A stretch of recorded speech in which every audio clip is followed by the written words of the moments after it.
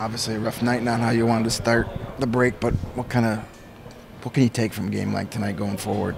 I think it's a you know from a game like this, you have to learn your lessons, and uh, it's a it's a tough league. You're gonna have uh, you know guys coming at you every game. Teams are gonna get better and better as the season goes on. There's not going to be any easy points, and I think uh, you know we've we've done a good job of coming back from a lot of uh, deficits. You know, especially two goal deficits, which is hard to do. But uh, you know, we don't want to fall down two nothing early. Um, it's just tough to claw your way back. It's tough to chase the game, and um, every every time we seem to get momentum, they would bury another one, and uh, we kind of left Lanks out to dry. So I think just a matter of uh, learning.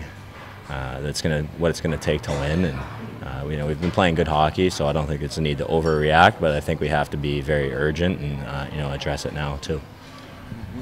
Mention that you guys are familiar to making comebacks here this year, but how difficult on a night like tonight when there's so much extra stuff going on that takes away from the flow of the game? Does that make it harder to try and get back into it? Yeah, you said it. Um, you know, right from the get-go, there are a lot of penalties. Uh, some guys are sitting on the bench for a while after a break, and it's tough to get into the flow of the game, get your touches, and um, you know, they capitalized early, and you kind of have a feeling with a game like this, whoever goes up early is, uh, you know, probably going to win the game. So think we did a good response, uh, you know, with our power play coming through there. But then, um, you know, it's a matter of following that up with the next shift and with the next line, and uh, something that we're working on. And like I said, there's no, no need to overreact, but uh, you know, we have uh, we have bodies in here that are capable of doing some good things. So, uh, you know, we want to get back on that winning horse as soon as we can perfect time for a little road trip now after a break and a rough loss. Get on the road, get a little bonding going.